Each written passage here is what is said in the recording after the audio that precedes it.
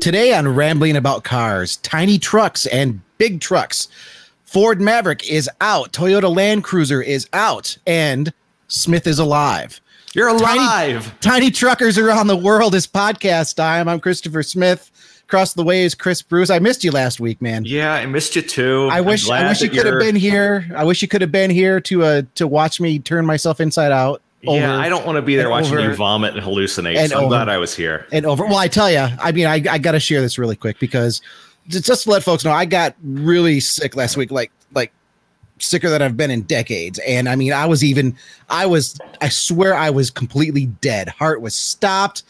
I was at the pearly gates, looking across the way. Was the most majestic, endless Mustang two you've ever parking. seen. No, no, no. It's better than that this endless parking lot that went on for infinity of every single vehicle that you could ever possibly want. Even the weird concepts that never made it off of a piece of paper they were there and the almighty was there with a big box of keys and i could drive anything i want. And i said nope i gotta go answer ferrari guy from a couple weeks ago.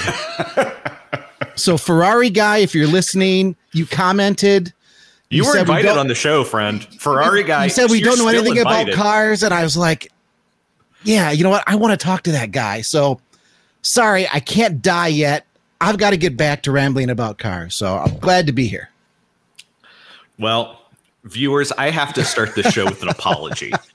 Um, we said when we talked about the Ford Lightning that we would have a moratorium on Ford topics for a month. Apparently, I lied. Damn I didn't mean to lie. But Ford went and they unveiled the Maverick. I believe either three to four weeks on the dot from when they unveiled the Lightning. And Smith and I, we talked about it, and I initially pushed back because I, I, wanted to stay true to my word, but we and, can't not talk about the Maverick. Yeah, and I'm with you on that. I didn't really want to talk about it but I mean, it's really important. It's really important. It it's legit big news, and yeah. one of the things that we really feel like, not just we want to do, but sort of a of a duty here. When there's really big car news, you're listening to us and you're trusting us. We need to bring you the really big car news, even if it's more Ford news. So, and and I mean, let's be honest, Bruce. A, a new small pickup truck with a blue oval badge. A, a, new small pickup truck anywhere is pretty big news in the United States, but with Ford doing this, yeah, I mean, I mean, we have to talk about it. So I was actually thinking about this while I was doing dishes tonight, and I think there is an argument to be made that the Maverick is more important than the Lightning. I totally.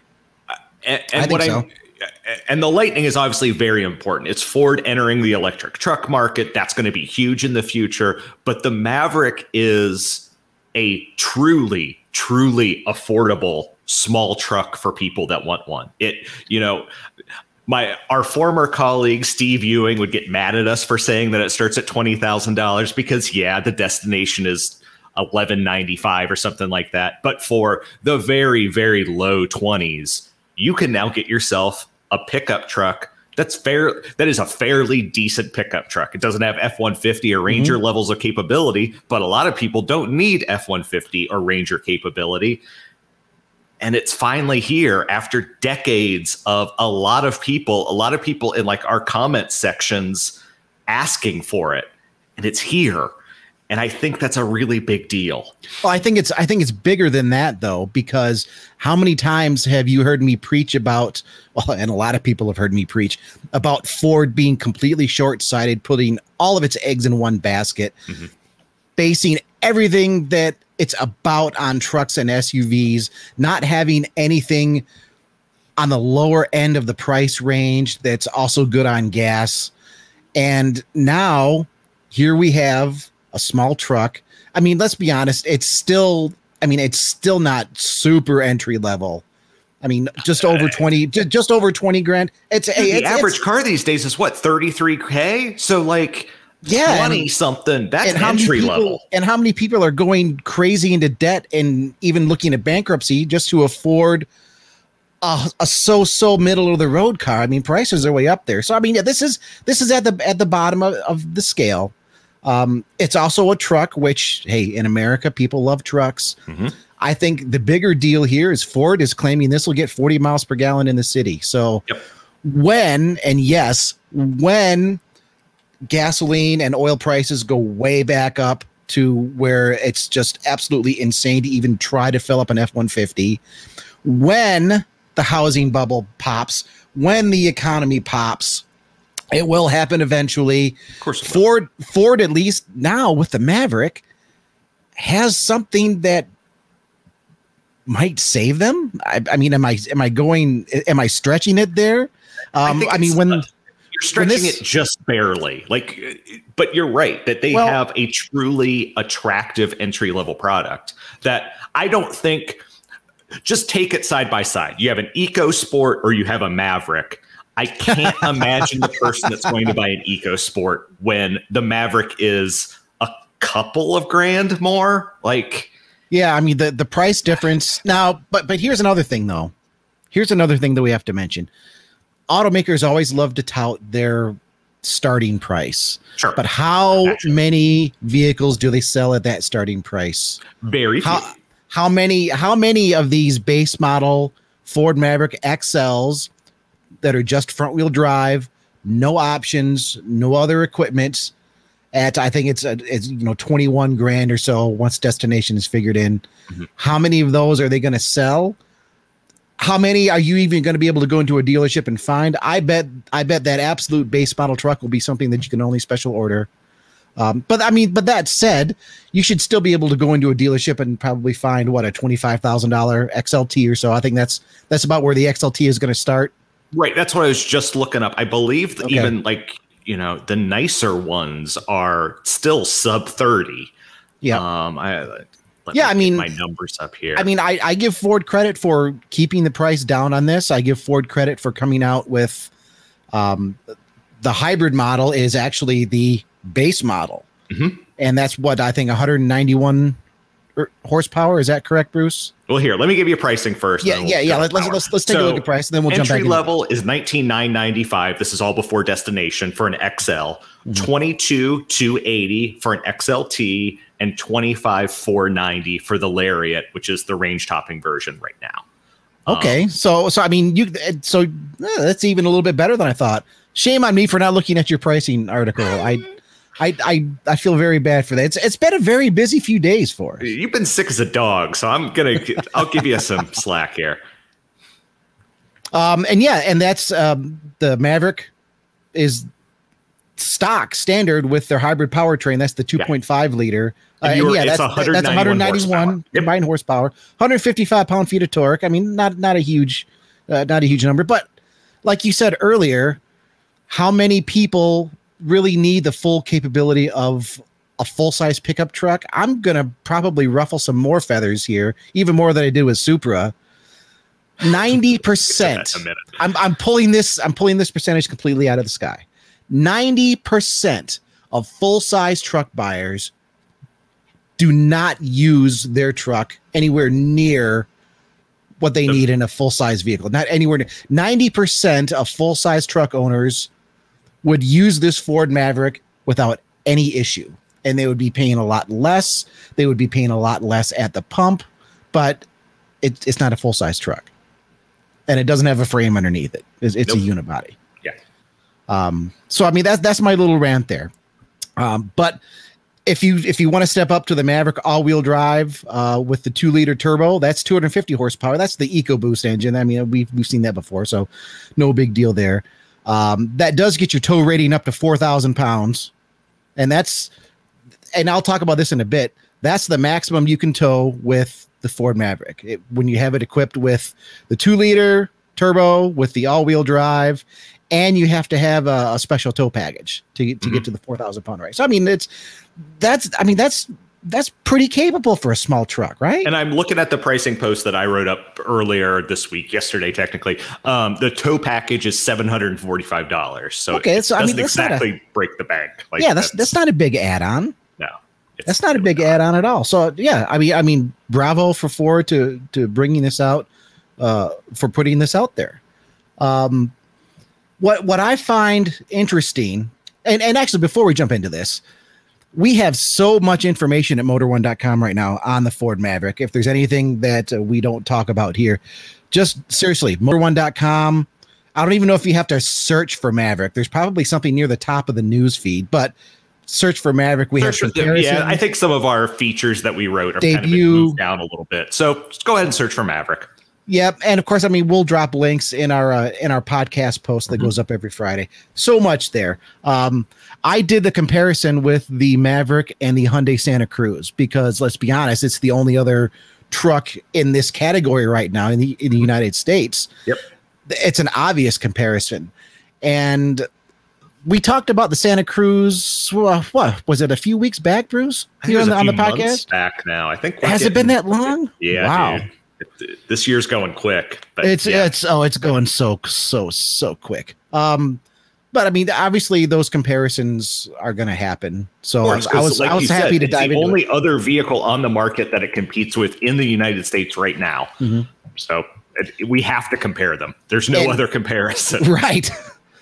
you know, unless Ram, if you're listening, uh, you have a you have a Fiat that you can bring over pretty much as is, and uh, and call it, you know, you know, brand it your new entry level Ram. Um, I think that'd be a, a cool matchup. But anyways, we're wait, talking wait, about super Cruz. quick. Wait, wait. Oh, oh, so, oh, anyone, if you want to listen to our Santa Cruz rambling about cars, that was on April 23rd, and that is April 16th, depending on how you want to find that. So, either okay. episode 16, April 23rd, if you want to hear everything about Santa Cruz. So, okay, yeah. Well, that wasn't too long ago.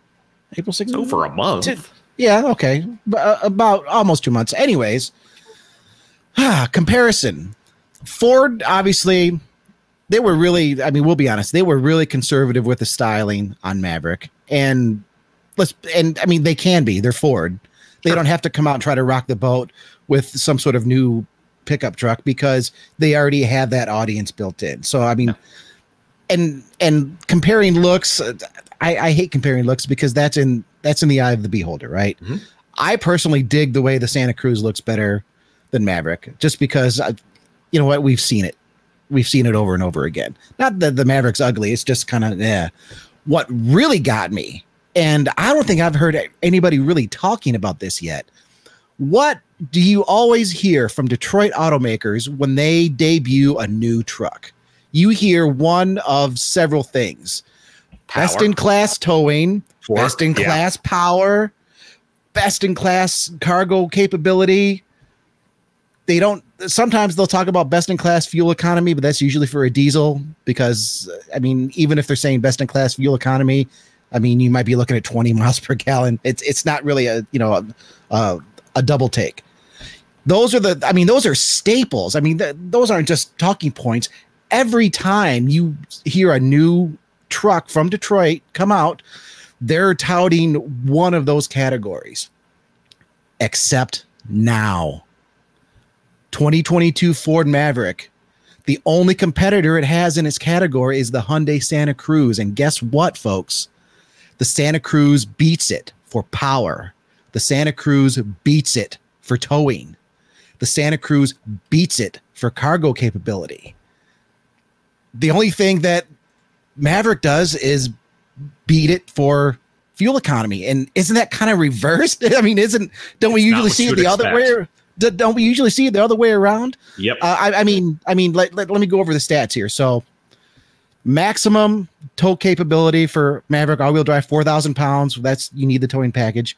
Santa Cruz, if you have the 2.5 liter turbo four, you'll get 5,000 pounds of towing capability. Um, if you have the Santa Cruz all-wheel drive with that turbo four, 275 plus horsepower. They don't have a specific figure yet. Right. The most you get with uh, Maverick, 250. And even in the torque department, Hyundai Santa Cruz all wheel drive, they're saying 310 pound feet plus. They don't have it finalized yet uh, of torque. Uh, Maverick, 277. So again, a win there. Um, as far as cargo capability, it's really close. Ford maxes out at 1,500 pounds. Hyundai goes up to 1,748. I, it's such a it's such a weird number, but hey, it's more. So I mean, but uh, just it, real quick in the Ford's fa- favor, not that I'm favoring one over the other. The Santa Cruz's bed is a bit smaller. Yes. It's, you know, it's 4.3 feet long versus 4.5 feet long. Well, you know, and it, but also it depends on where you measure it from because if you have that Yeah. built-in tonneau cover, Yeah. it's only like four feet at the top. Correct You're right. Santa Cruz. Yep. Yep. That is an area where pickup truck people are really going to favor the Maverick because Ford even they designed the bed in the Maverick. It's it's a four and a half foot bed, but they designed it to where it's it's flat enough. They actually designed the uh, the wheel arches in the bed where you can fold down the tailgate, and the tailgate even has a, a multifunction little lip that kind of sits up.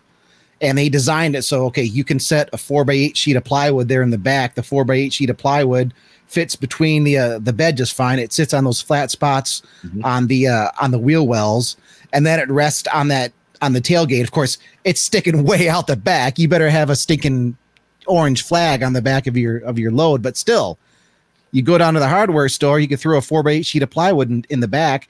That's a big deal for people. That's a that's a that would be one area where I would say the full size truck people legitimately use their vehicles to the max when you go and you can carry longer, kind of bulkier loads like that. And props to Ford, they've got the Maverick figured out to where you can do that. Whereas Hyundai, you've got your little uh, plastic cover that you're putting over the tailgate so you can haul your mountain bike. So th- that's the one thing there I don't know. And it, I think it's just going to matter person to person, family to family. I know in the family that I am from, they are very much gardeners, and being able to haul the the mulch, the stone, the stuff like that, that's a much bigger deal than hauling plywood or drywall or stuff like that. So you know, maybe that extra payload is going to put the Santa Cruz in their favor versus the Maverick. You know, they're not really going to care that there's a smaller space, that more the extra weight is the selling point. So it, Right. it's kind of an interesting dichotomy. Do you want more payload, less physical space, or more physical space, but less actual payload? It, you know?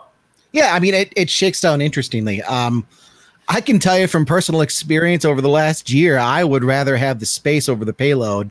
Um, speaking as somebody that went a little crazy and built a sim racing cockpit out of a bunch of plywood last year when we were on lockdown, I really could have used space for some nice four by eight sheets of plywood. Um, and then I also just got a new bed after uh, 17 years out of my old bed, trying to get rid of the queen bed with a queen size box spring. Yeah, the, the, the space would help. But at the same time, you I mean you have space in the Hyundai.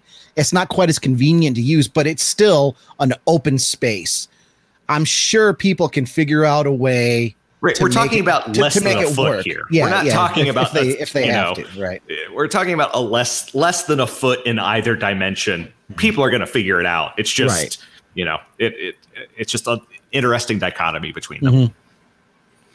So we're looking at the interior. Um, if you're catching us on YouTube, Bruce, I mean, I, I don't really know how I feel about the Maverick interior versus Hyundai. Um, I mean, we're seeing the XLT. Is that? I think that's the XLT Lariat, probably.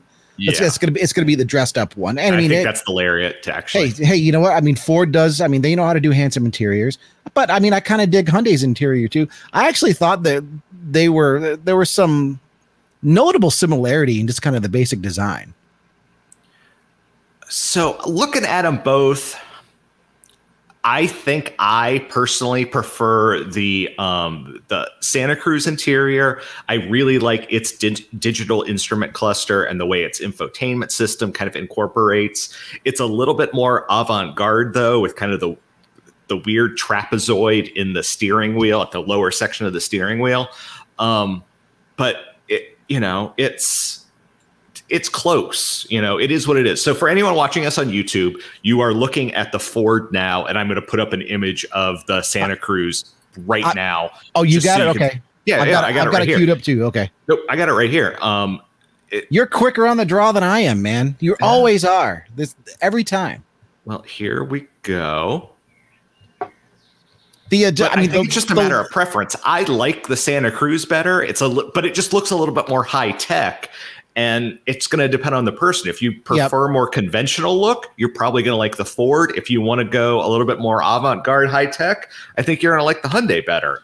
But The- I don't think one is wheel. better than the other. the steering wheel is a little awkward looking on the Hyundai, but it's not It terrible. is. That's yeah. Um, That's what I mentioned. Yeah. yeah. I mean, it's a toss up for me. I don't think I would be buying either one based on the interior, just because I think they're they're both similar enough uh, to seal the deal for me. Here, um, I would be looking more for. Well, I mean, let's be honest, and I think a lot of people will agree here. They're going to be looking more necessarily at, at price here, and we mm-hmm. don't yet know what Hyundai is going to sell the Santa Cruz for. They they haven't announced any pricing yet, have they? I, I don't uh, think I've seen it anywhere. I yeah. wait here, real quick. Here are the two side by side for any of our YouTube viewers. Yep. Smith, you're looking at them. To me, it's a wash. Like they both have their strengths and minuses. I prefer the Santa Cruz one a little bit more, but I could also totally understand why someone would like the Ford one mm-hmm. more. It's it, it's a wash to me. You Ford, GM, Stellantis, aka Jeep and and Dodge. Yeah. I like the shifter stalk. I don't like the little dial. But I know the Maverick has the dial. You can see it there at the bottom. Oh no! Uh, yeah, yeah, yeah. No, I'm, that's I'm drive saying, selector. I'm sorry. I'm sorry. Yeah, yeah. I'm saying I I don't like that. I would rather just have this same old basic stock where I I have the tactile feel. Okay, I don't have to look down to see.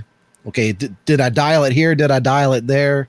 I don't but, know if it makes if it makes me old fashioned, but I just I just like I like having that stock, even if it's a small stock. The one in the one in the Santa Cruz, it's, it's kind of big actually.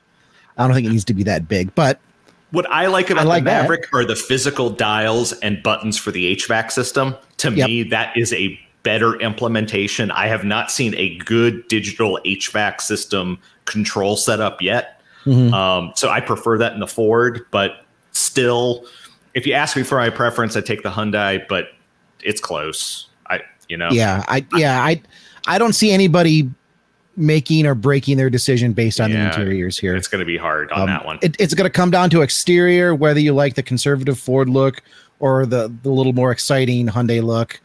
Um, I don't think, even though Hyundai beats Ford at the truck game, if you will, with uh, with power and towing and cargo, mm-hmm. um, I don't think it'll come down to that either because they're still they're still very similar. They're they're similar on, on all of those fronts, and I don't see anybody towing four or five thousand pounds with either one of these vehicles, even no. even if they're even if they're able.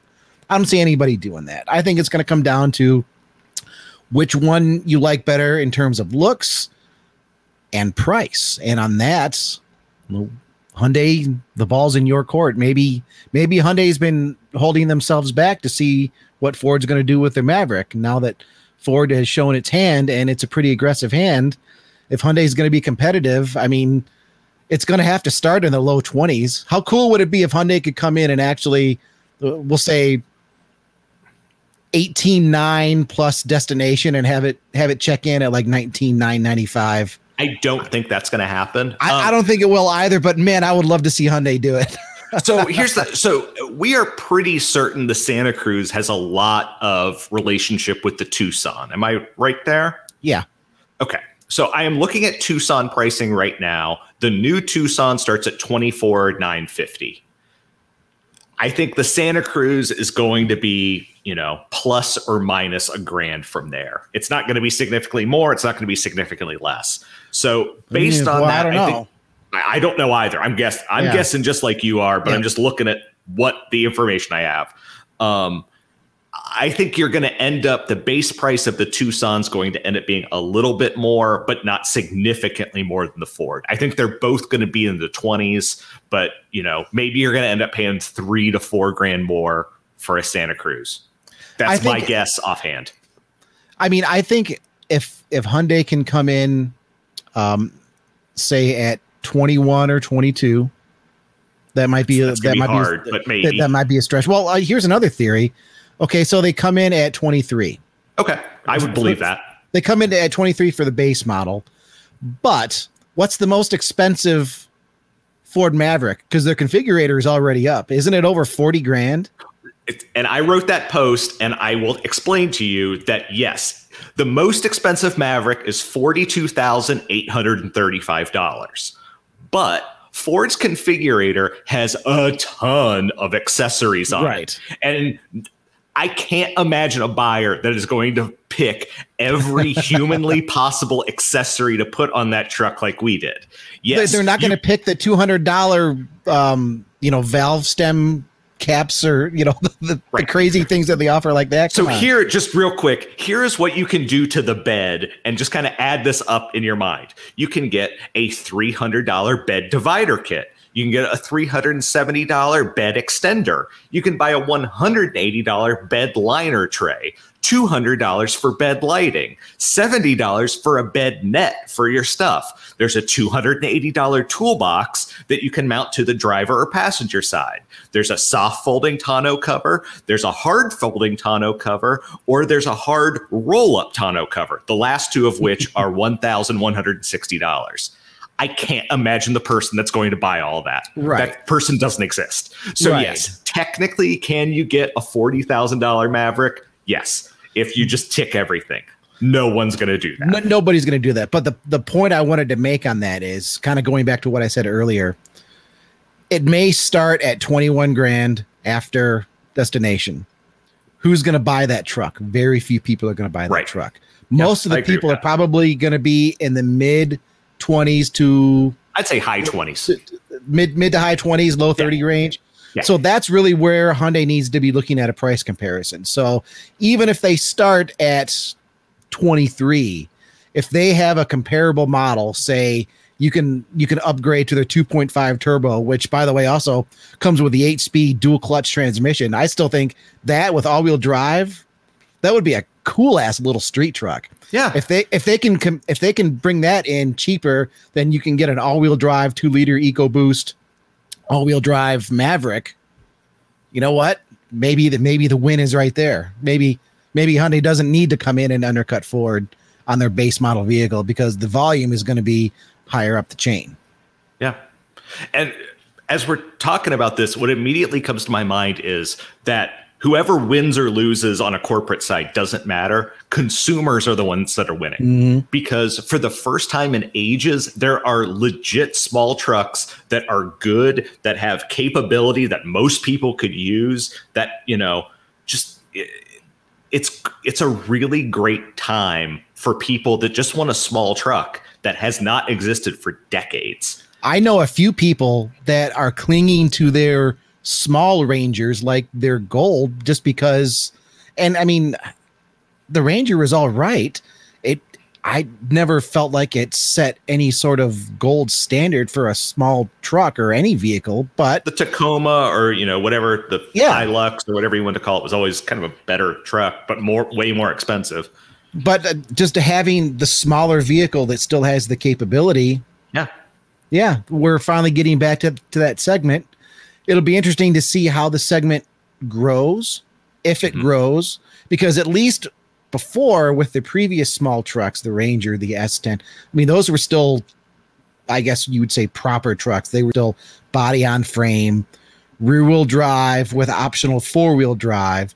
It's an important distinction to make here because the Maverick, I mean, it, it's and the Santa the same, Cruz and, and the Santa Cruz, they're both unibody. They're they're both unibody design that are front wheel drive and basic trim. That's I mean that's not a typical it's not a typical truck format. And uh, the all wheel drive systems, those aren't your typical four wheel drive systems. Those those are going to be more of the kind of the, the street based all wheel drive. So you're not going to take your Maverick even with all wheel drive and go to go to Moab. I mean, people might try, right? Although, I mean, we've seen Bronco Sports at yeah. Moab that are doing okay, true, and it's the same platform, which oh, means that's true. All-wheel drive is probably similar. So, no, that's true. Maybe, maybe. I should uh, maybe I should eat a little crow there. I'm well, not. No, I'm not saying that. We'll I'm see, just saying that you know, for a lot of people, I think the capability might be there. You know, uh, you know, if you live in Alaska or if you live somewhere really, really in the wilderness, no, this probably isn't the truck for you. But if you live in the suburbs, that all-wheel drive system is probably everything you're ever going to need. Well, I, I, mean, I'll say this much: I'm not a truck guy. Um, I'm sure listeners have heard me say that many times. I have owned two full-size trucks, so I'm, I'm not saying this without having any experience. And actually, I I liked the F250 diesel that I had. I didn't like it at the time just because it kept breaking down, but I guess with rose-colored glasses, I thought it was kind of neat. Um, but I've just I've never been a fan of the ride. I've never been a fan of the size. I'm always kind of practical in that. I I want a vehicle that I'm at least using mostly how it should be used. The Maverick and the Santa Cruz really interest me. Mm-hmm. And I'm putting an exclamation mark on that because I still have my 2004 Mazda 6 V6 hatch that has been extraordinarily practical for me over the years and it's been extraordinarily reliable except so for very the, recently except for the past probably 8 months or so yeah. where I mean it's only got 109,000 miles but it's I mean it's got a misfire a slight misfire now that's not strong enough to set a check engine light so, okay, I, I don't exactly know where that's at. The suspension is starting to get worn out. It's got a pretty good oil leak. This is after already fixing a bunch of stuff over the last year. So I'm kind of at the point I've been I've been ho humming on getting a new car. I'm at the point now where it's like I'm kind of tired of this. I can afford something new. Let's go get it. These two trucks really interest me. I'm interested to see how many other people that wouldn't ordinarily be looking at a truck are now interested in either Maverick or Santa Cruz. I agree. So I want to follow up your anecdote with an anecdote of my own. Oh, so um, just this past, not last weekend, weekend before last, I got to see my parents for the first time in a while because of you know COVID mm-hmm. and vaccinations and stuff like that, and naturally. Because I write about cars, we were visiting an uncle of mine who's restoring a car. Like we're all car people. Cars got brought up, and my dad said that my mom asked him, she had been looking she had read about the Santa Cruz and also the Lightning and said, "How come we've never owned a pickup truck?" Because they they were always SUV people. They had a Cherokee and a Wrangler and my mom had a 95 Mustang and a Saab and a she drives a Cadillac CTS now. Like they've never driven she likes, you know, vague performance luxury but not really a pickup. But the Santa Cruz really grabbed her. She's been asking me over and over again, how much does a Santa Cruz cost? And the Lightning really grabbed her because the idea of being able to plug stuff in, especially like, you know, they live in an area where a power outage happens every, you know, couple times a summer, three times mm-hmm. a summer. But being able to, you know, oh, they don't have a generator, but they could plug the truck in, that that would be kind of attractive to them.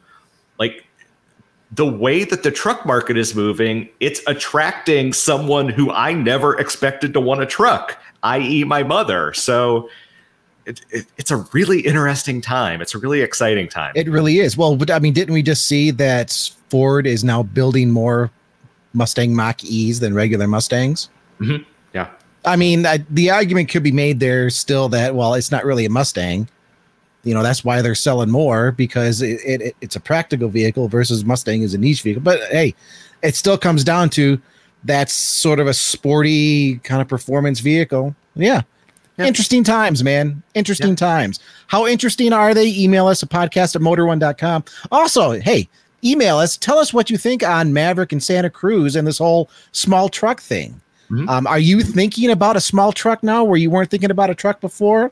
We'd love to do a little poll and see what our listeners think on that. Yeah, I would really love to know if, like, were you thinking about getting a, a smallish crossover, a, a CRV, you know, a, a smallish crossover, but now you're looking at the Maverick and you're like, oh, maybe I could do that instead. Maybe that would work for me. I, let us know. I, I would le- legitimately be curious to know people's feelings on that. Yeah, I mean, we always love to hear from people. We always love to read the comments, even sometimes when the comments are a little are a little spicy. Bruce, I wasn't on the podcast last week, but I did listen because come on, this is the best automotive podcast. Well, your show too. It's it's the best automotive podcast you can get. It's even better when I'm not on it no, it's so, better when you're on so, so anyway. I, I, I had to listen. Um, and I know you. We're going to jump back a couple weeks because we talked mm-hmm. about um, cars that we thought were overrated, cars that we thought were yeah. underrated, and I think the A80 Supra is overrated. And, and, you stirred up a hornet's nest. Like that was all of the comments that people were saying that you were only saying that to like get views for us, to like stir well, up controversy. People claimed like you were just you, you, you were but, being but you know what that means? saying that. But, but so, you know what that means? Tell me. It means I'm absolutely right. because I mean, we started off that podcast by saying feelings were going to be hurt, and some feelings were hurt. Hey, if I'm an idiot because I don't like the A80 Supra, or if I'm dumb because I'm just stirring up controversy, hey, look at the A80 Supra It's got that dumb smiling face with those ridiculously oversized headlights. It has that ridiculous St. Louis Arch spoiler that for the younger people that think the Supra is great but don't remember it from the 90s, people didn't really like that wing in the 90s when it came out. It was kind of no. like, wow, to- Toyota, what did you do to the Supra? Why are you putting this huge wing on there? It's got the 2JZ engine. People know the 2JZ engine. They love the 2JZ engine. It's a great engine. The Rightfully engine so. fantastic. It, it's a fantastic engine. I'd say I'd, I'd put it in one of the top engines of all time. There are so many engines you can put on that list. It certainly deserves to be there. Um, and for the record, also, I don't hate the Supra. I'm not a big fan of the A80. Um, but as a performance car in the 90s, especially, when Mustang GTs were at, at like 220, 230 horsepower on a good day stock, and the, the Supra was a what like 330 stock. I mean it it was it was a properly brutish muscle car. It also um, cost twice as much as a Supra or as a Mustang. Sorry. It, it was also very expensive, and because it was a muscle car, I mean, it handled all right, but it, it wasn't what you would expect a Japanese sports car to be. So I mean, those those were my big gripes. I think I think Toyota did just terrible on the styling. Um, I think that it could have been dialed in a little bit better for handling, not just brute power. There's more to life than the 2JZ. Um, Can I poke the hornet's nest here, just off the top of my head? I, have got a question for you. Okay, you've got a question for me. Okay, go ahead. So lined up right next to each other, you have got twin turbo Supra, Lexus SC400, which in case the 400 is the one with the V8 engine out yep. of the LS and everything. You could pick one. Honestly, I, I would take I would take the Lexus. I just uh, the Lexus looks better. Um, I I mean They're the same the two, platform. I, I mean the, the yeah. I like I said, I don't really have a problem with the Supra. I just don't think it is the end all be all that, uh, frankly, a lot of people make it out to be just based on its appearance in the Fast and the Furious. I mean, I mean, we were kind of talking about it in that episode. Yep. Um, Jason just- Hudson, I'm, go- I'm going to call you out a little bit. And I'm using your name on here. Usually we stay anonymous, but yeah, Jason, we don't use last names usually, so you better be nice. Well, well, at least well, you have a reason. Well, when you post a public comment on a public forum, they are bashing the Mark IV Supra just for the controversy of it. They are morons. That's duh, we're morons. Come on. You listen I mean, people listen to the podcast. Of course we're morons. But you know what? Sometimes we're also right. And you know, I mean, I mean, hey, Jason, you love the Supra dude. That's awesome. I'm not I'm not interested in trashing on anybody. I'm not going to call you a moron. You love the Supra. There are some cars that I love that people just don't get Eh, that's not what being a car person is about. You love your car stuff. We love our car stuff.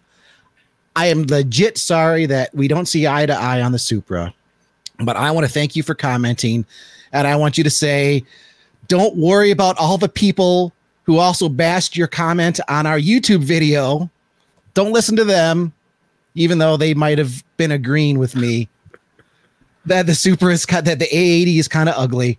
Don't listen to them, man keep on with your Supra love. Keep preaching it. Keep listening. Keep commenting.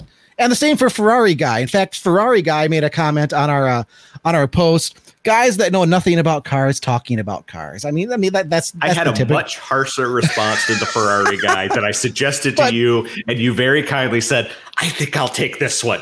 But so uh, hey, Ferrari guy, I mean, it could have been worse, but dude, uh, hey, it's I mean, it's a troll comment. I mean, we we're we're in the business. We we know what this stuff's about. I know. Um, I, I Ferrari guy. I mean, I was legit invited you on the show. Hey, come on. Yeah, totally. If you want to come on the show, you're welcome. We're, seriously, we're rambling about cars.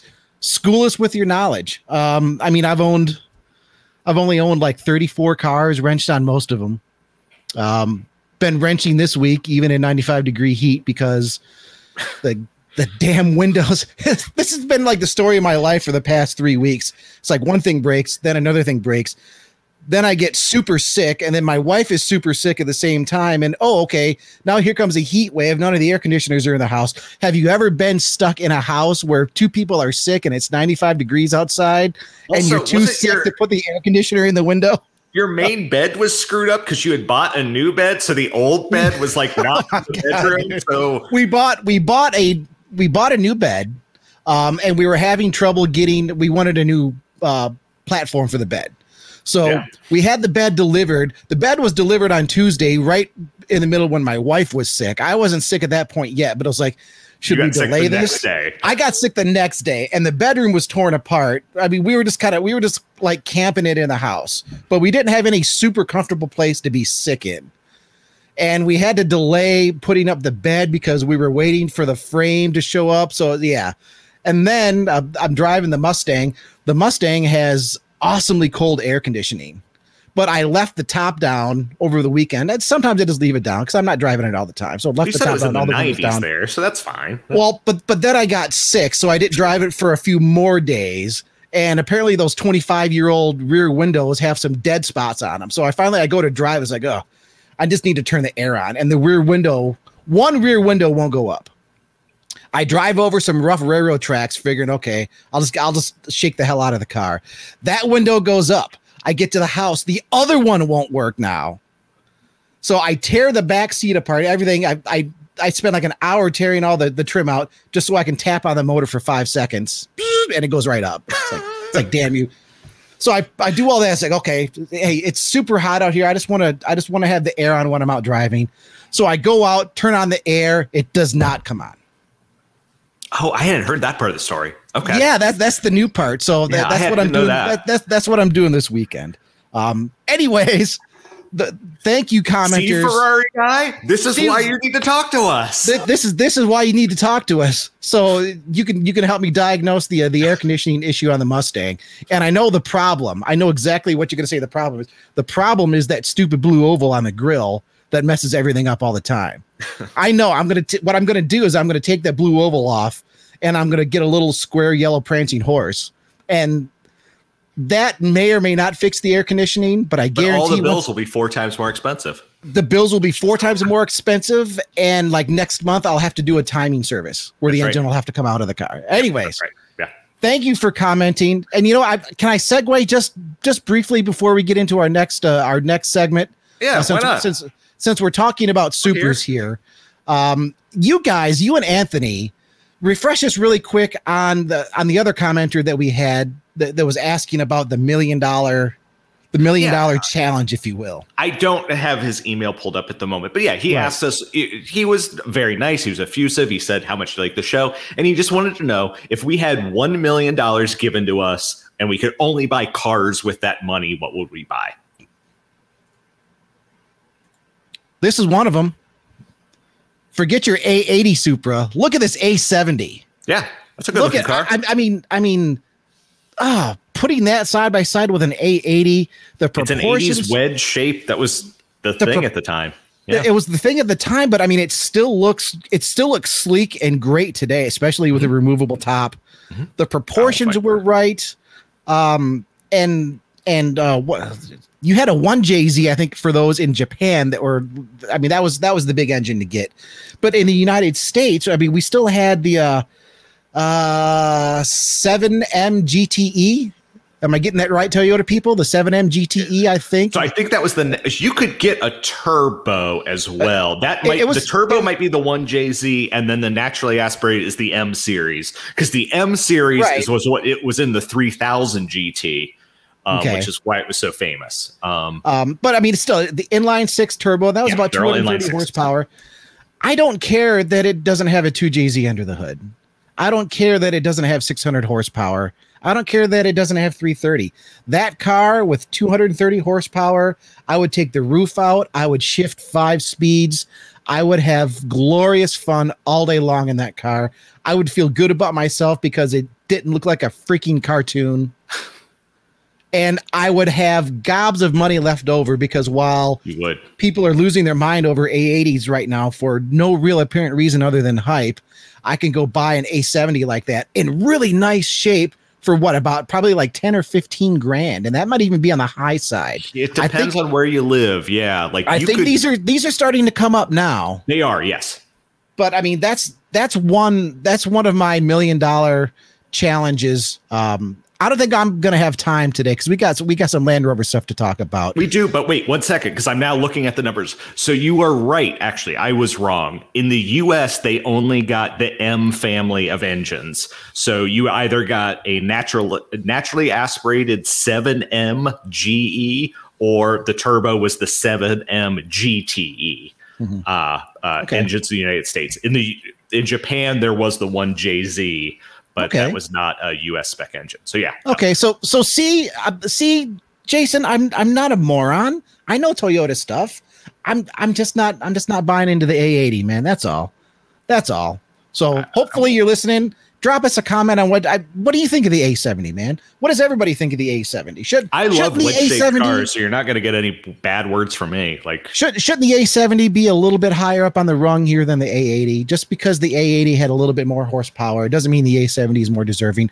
Before we go on to uh, our next segment, I will complete in one fell swoop my million dollar garage challenge.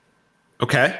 And that is going to be with a car that could be the most beautiful, elegant, seductive, delicious car of all time. You're Ladies and like gentlemen, a Mustang too or something. I present the 1936 Auburn Boat Tail Speedster. Oh, Come oh, okay. yeah. on. There is not a place in the world where you could drive up in that and you would not be the instant rock star of everything. Yeah. And you know, yeah. it, it, there there was a time not too long ago where those cars were still uh, I mean, 150, 200 grand. That that's nothing. Oh no, they were more. At. That's the interesting thing about those pre-war cars is that they've gone up, and now the fact that so few people kind of know about them that the prices are falling. No, yeah. no, not not on these, not on these. Oh, okay. that, that, was my initial thought because the last time I checked, I, it, it had been a couple years ago. Uh, you know, I guess maybe a little bit longer. But you know, I thought, okay, I can get one of these and a few other cars. No, an original Auburn boat tail like this is a million bucks. You're gonna you're gonna pay. I mean, maybe you can get one for eight hundred. Maybe you can get one for nine. Maybe it goes for 1.2, 1.4. But you're looking at a million dollar car right there. So okay. there, there's it's my million dollar it. challenge. It's gorgeous. Oh, it, it is. Oh, I've always loved that car. The the big straight eight I mean, at the time that was supercharged. Mm-hmm. Um, I don't know how how fast they were, but I mean, this is at a time where there still weren't many roads with pavement. Right. I mean, this is how long yeah. ago we're talking, and this is a car that could that could top 100 miles an hour. It, it's just there's just nothing else like it when you see it on the road. The only the only other thing I'll say here, instead of that car, I could get an Auburn boat tail replica and have like 95% of the look. It, it's never going to be super exact. Um, for probably about 50 or 60 grand, in which case I then created just the most crazy list of pop culture cars, 80s cars. Um, I had I had a Murcielago in there because I, I, always love the Mercy Murcielago. You got to well, have Murcielago a is like a buck 50, 200. Oh yeah, I had a, I had a few cars. I had a couple cars in there They were like 200, 400,000. Yeah, uh, but if you got a million, like, but, but I, yeah, I got a million, right? So, right. You know, I, what else did I have in there? Ferrari 328. I love the 308, but the 328's got a little bit more power. Yeah, and you can get those for just under a hundred grand. Mm-hmm. Uh, Ferrari 575. I love. I've always loved just that long front engine V12 Ferrari. Those are, I think, right are running right around a hundred grand. And then from there, it's just like this ridiculous list of ten thousand dollar '80s cars. I would have the I would have the ultimate '80s collection. Oh, Dodge, totally.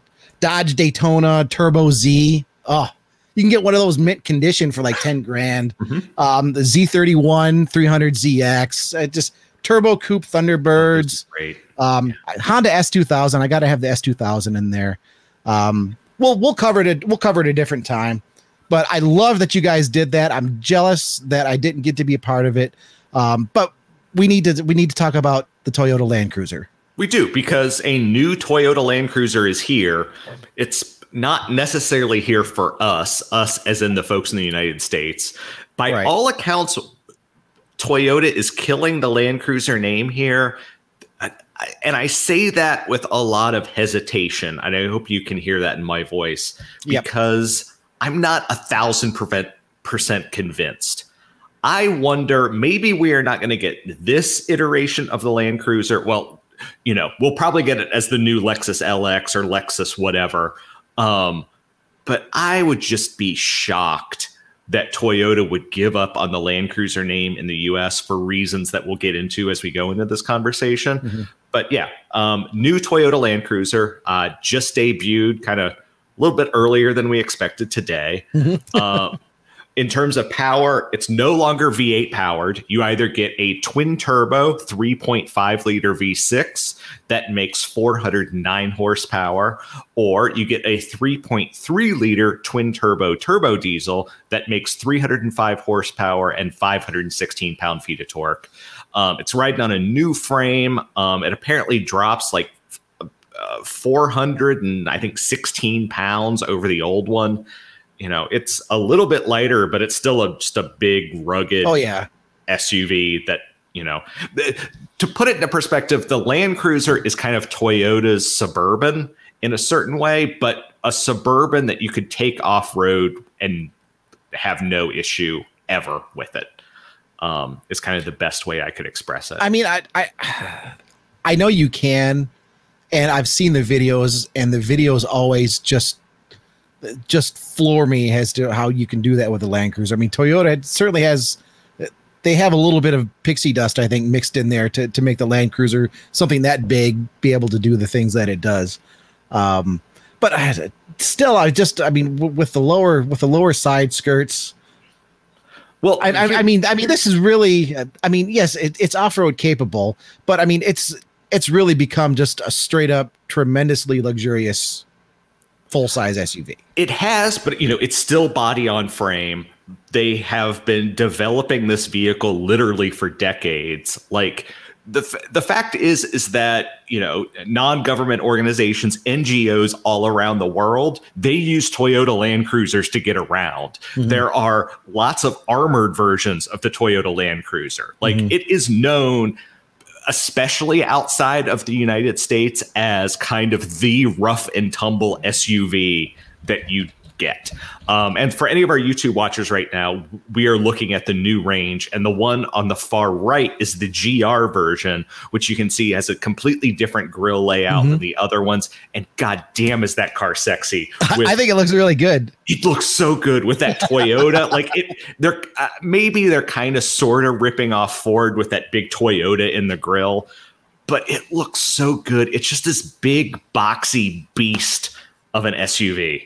Well, I mean, uh, Land Cruisers of old, I mean, they, they used to carry some pretty big branding up front like that, didn't they? I, I don't. I, so I've been looking around. They really haven't. I was kind of looking up some Land Rover history today, and I, I I'm curious to ask you this.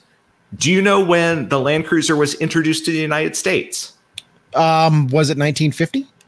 No, you're close, but not quite. Close. Okay. It was. I, 19- I, know. I know. It goes back that far, or yeah, just not that far.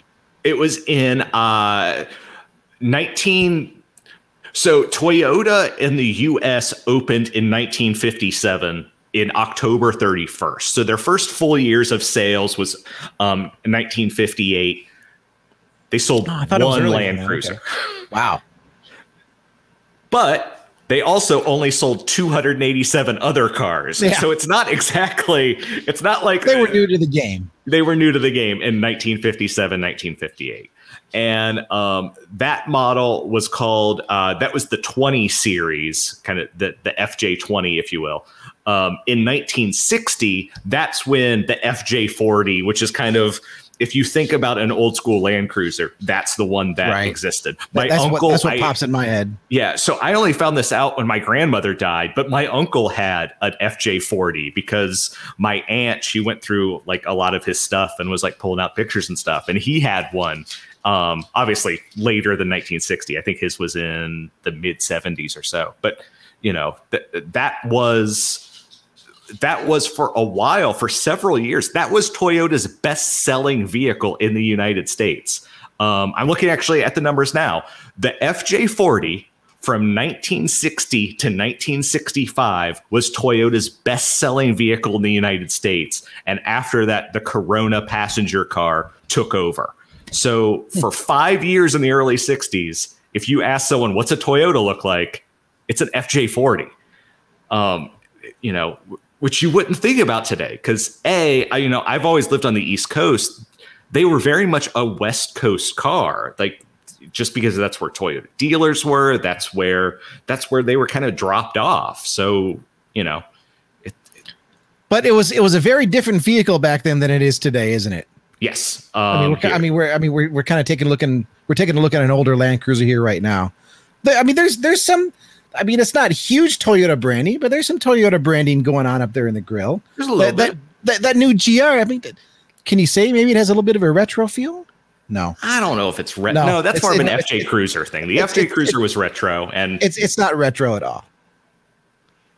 But I, I mean, when I think Toyota Toyota Land Cruiser, this is still what pops into my head, and I know there have been many many variations over the years, and I know the the most recent one here in the United States. I mean, that's I mean, let's let's be honest. I mean, that's why Toyota isn't going to sell the new one here because right now the Toyota Land Cruiser is like an eighty-five thousand dollar SUV. I mean, that's and I they mean, sell a couple of thousand every year. The yeah, sales are incredibly low. They're not selling that many, and when Toyota has a luxury division called Lexus, right? I mean that that that's why that's why it's it's to me, I mean, it's pretty much guaranteed. We'll at least get this has a Lexus, where maybe that price tag is a little bit more befitting. And I don't know if it'll if it'll bring more sales, but hey, you know what? We'll cross that bridge when we get to it, right? So let me pull uh, while we're talking about this. Let me pull this story up that we ran okay. a little bit ago. There's a rumor that Lexus is planning to do a Halo off-road SUV. And after seeing this new um, uh, Land Cruiser, I wonder if those two projects aren't somehow related. That Lexus would do, you know, this super crazy off roader, and it would basically be the ultimate Land Cruiser for the United States. Um, How did I miss this rumor? Uh, you know what? Let vamp for me for just a second while I look it up because I know I'm the one that I wrote mean, it up. I mean, uh, I know I've been sick here for for. I mean, I was only sick for okay. I was sick for like a day or two, but it really kind of kicked my butt for about a week. But I don't remember hearing anything about this. Are we talking recent or are we talking, you know, like a, like a few months ago? I mean, admittedly, writing four or five news articles a day, things kind of blend together pretty quick. Um, I would, I actually, maybe I do remember something about it now. Um, I mean, I would love to see some sort of Halo off-roader, like a Land Cruiser of old that that was just out to conquer Wranglers and Broncos. Well, it um, sounds like it's going to be. It sounds like this right? is going to be more of, of, the Lexus G class, for lack of a better describer. So, um, as you can see, so for anyone not watching on YouTube, the headline of this story is Lexus dealers say new three row crossover off road SUV and EV are coming. And this is from February of 2021. So this I, I remember, I, I, remember this now that I see it. But yeah, so this year, but you know, uh, yep. whatever. And basically one of the the people involved says that Lexus is working on a rugged off-road vehicle. They're saying it's going to be a low val- volume halo vehicle. Um, and that it's vastly different from what people usually expect from a Lexus.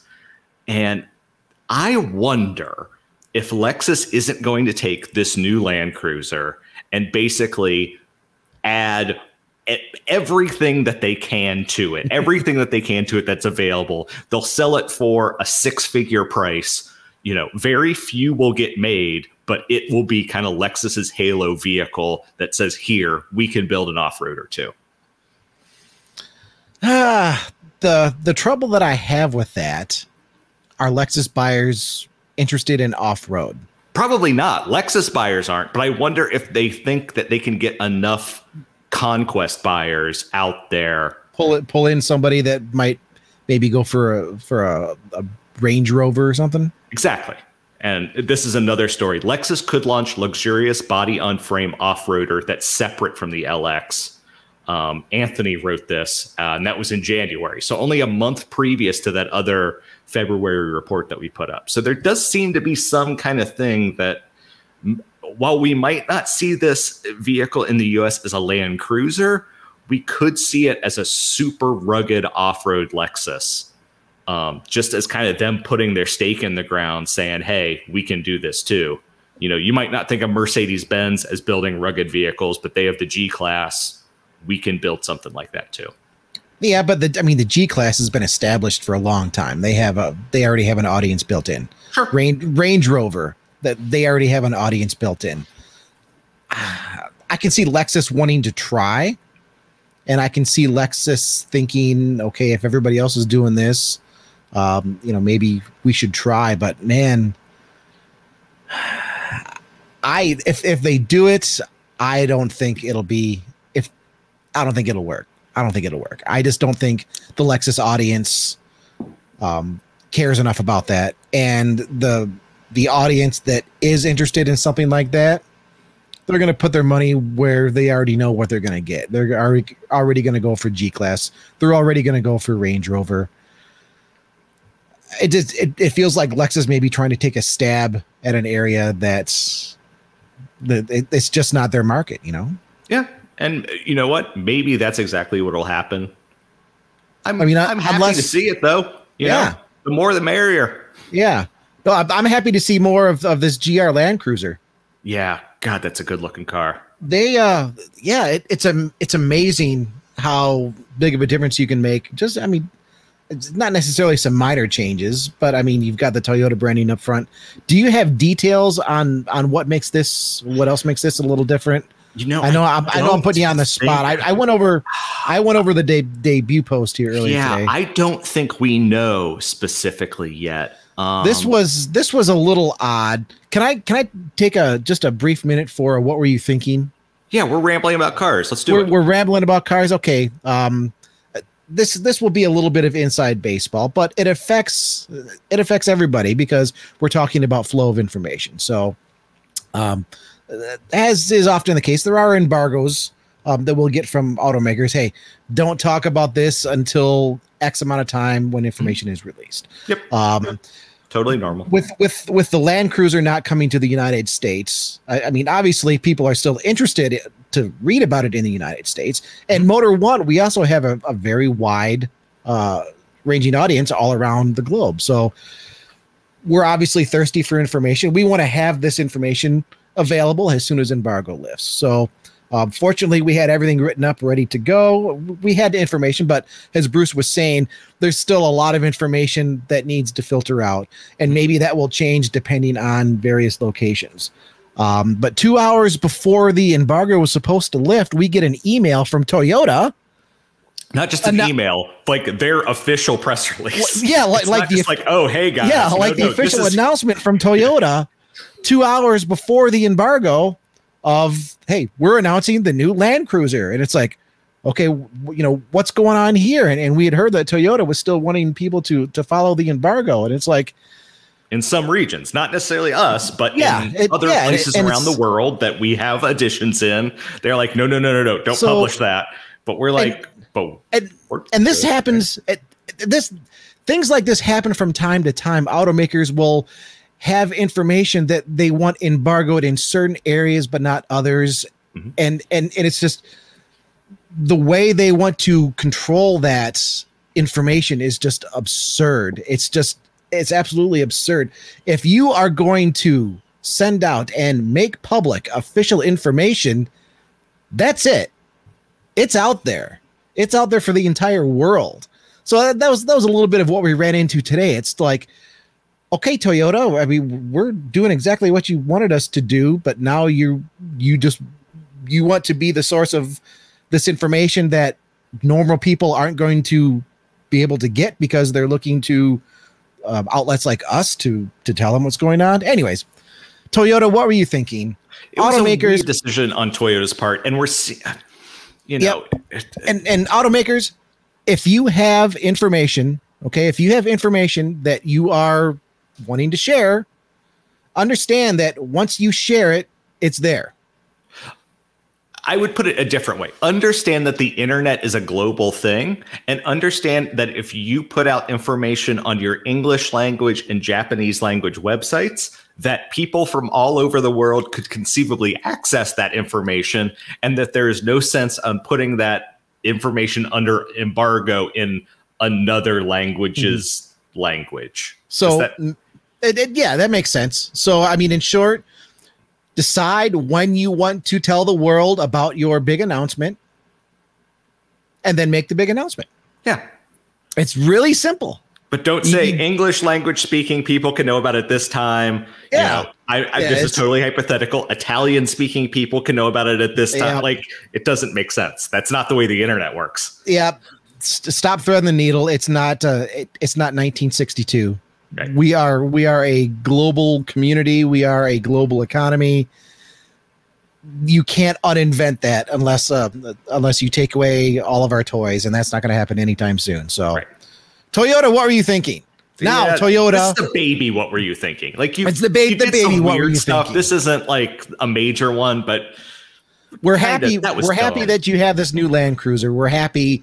Uh, we're really happy, and we want to know more about the the GR version here. Yeah. Um, yeah, I mean, you have one, give Smith and I the keys to one because we would love to drive one. I mean, I'm not remotely located in any region where there could be some epic off-roading trails with some of the most fantastic views in the entire world. I, I, mean, I'm I'm nowhere near stuff like that. Nope. Not uh, not, not in the not in the Black Hills of South Dakota with one, two, three national parks like two hours away from me no, that those would be terrible places to drive an off-roading vehicle. can't Bruce, that. I mean, I mean, you're you're a bigger Land Cruiser fan than I am. So I have to be I, totally I, I, honest with you. My Land Cruiser experiences are very small. My wife my a coworker of my wife, her husband had one, and I got to ride in it once, and I fell in love with it. And his was like an early '90s example, like a '92 mm-hmm. or '93. The other experience I had in one was just a couple of years ago, ago, but it was even shorter. It was a ride in one from uh, Cobo Hall in Detroit to the hotel I was staying at in Detroit. So it was maybe a 15 minute ride, but I just there's something to me that I really like about Toyota kind of pushing the limits of, and I, this is true of any automaker. I like an automaker who pushes the limits in terms of what people can do with a vehicle, what people want from a vehicle, whether that's a supercar or an SUV or a commuter car or whatever. And to me, the Land Cruiser really does that, and that makes it attractive to me. Thanks. That's what I got, bud. No arguments here. No arguments here. We're going to be standing by for for more information from Toyota on this. Yeah. And and when that comes up, motor1.com, we we have uh, we have our teeth into everything. Um, we have branches all around the world, so we're, we're constantly sharing information, and uh, we appreciate you coming along for the ride, both at motor1.com and at Rambling About Cars. Bruce, do, do we want to actually tell people here at the end of this episode uh, a little bit of change that's happening on YouTube? We do, but, but you know what? This just popped into my head. I'm going to do this and then I'll do that. Okay. Just real quick. Hey, Toyota, bring us a Bronco slash a Wrangler competitor. Bring us a true FJ Cruiser, a baby yeah. FJ. So a baby Land Cruiser. Like, that'd be fantastic. Just do that. Um, but yeah, anyway, so back to what you were talking about. Right. To anyone who watches this on YouTube, we have a new channel. Um, we are no longer going to be on the Motor One main channel. We are going to be on a new channel called Motor One Podcasts. And again, all for us. This, uh, all for us, all for any future podcast that ends up mm-hmm. happening. I'm not saying anything's actually happening, but you know, maybe we're gonna do a trucks podcast one day, maybe whatever. Um, all Motor One podcasts will be at the Motor One podcast channel. And, um, and, that's and that's exactly what it is. I, I think you, youtube.com slash motor one podcasts. I, I as far as I know, that is what the URL is going to be. But we'll um, make sure we have we have links in the video. We'll make right. sure there are links at uh, at motor1.com and you will still be able to see something at least for a little while on the main YouTube channel. Right. Um, so at, at advertising the new channel. That's very important. The takeaway, we're growing. Motor One is growing like crazy. Mm-hmm. Um, so here's where we really need your help. We want to make sure that the new Motor One podcast channel gets out there to everybody. So go to the channel. You'll be able to see all of the past episodes of Rambling About Cars as mm-hmm. well. I, I believe. I believe they're going to take over all of the old, old Motor One podcasts before it was Rambling About Cars. Don't quote Maybe. me on that. Don't yeah. quote me on that just yet. Um, I, I mean, the uh, it's an active situation, right? But point certainly, being, all of the podcasts that you have yes. seen with Smith and I that have been recorded and been on YouTube, they are still going to be on YouTube. They are just going to be on Motor One podcast rather than the Motor One channel. And to make it explicitly explicitly clear, this only affects the YouTube channel. If you are right. listening to us in any audio way, that doesn't change at all. Just just keep listening. We appreciate you. That it doesn't Absolutely. change. It's only Spotify, the video version of this show. Spotify, Apple. I, I think those are, are, the two primary. Those uh, are the primary uh, ones. But we're on other stuff on. too. Yeah. But anywhere else you're listening, right? We're still going to be there, and we still appreciate you coming along for the yeah. ride. Even Ferrari guy and Jason. Yes, exactly. what else we, we got, man? No, I think that's it. But yeah, it, I just again, I need to just make it explicitly clear. If you are watching us on YouTube, we are moving to Motor One Podcast. If you are listening to us in any other way, this change does not affect you at all. Right. It's just it's just a channel change. That's it. Yep. Um, but otherwise, yeah, as always, good afternoon, good evening, or good night. Whenever you happen to be listening to us, we really appreciate it. We love hearing your comments. We love hearing your criticism. We love getting your support. We love getting your emails. Whatever it is, we honestly love this because Smith and I, we do this purely out of our passion for just sitting down on a Tuesday or a Wednesday night and talking about cars. Like, I, want people to think of this as when you and your buddy are sitting out on the gar- sitting out in the garage, drinking a few beers and talking about cars. That's what this show is supposed to be. You know, maybe it's you know guys who are writing about news every day, automotive news, but I, it shouldn't be more formal than that. It just should be us sitting here just BSing about cars, and that's that's that's what we want. And we appreciate all of you that come along. So, yeah. Take Smith, care. anything more to say? Um, you know what? If you want to catch us on social media, oh, um, oh, I'm yeah. I'm at ch Redding on Twitter. I'm Chris Bruce, Bruce 1985 on Twitter.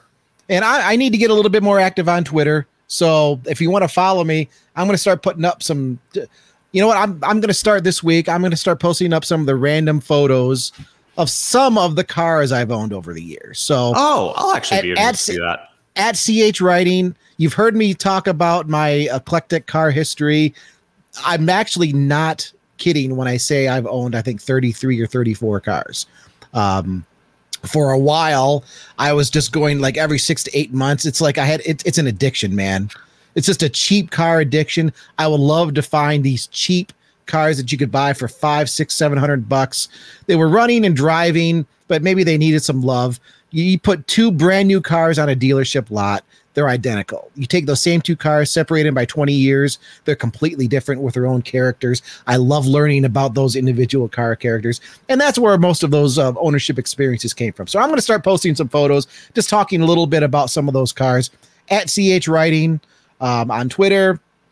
And Bruce, it looks just about dark at your house, so it, I think yeah, it's time going down ish. But I think it's I think it's time to cap this off. Yeah, I think it's time. Again, thanks everyone to listening for to listen. Eh, thank you everyone for listening to us. Um, Bruce has been in the beer a little bit too much already. I have not. Stop that.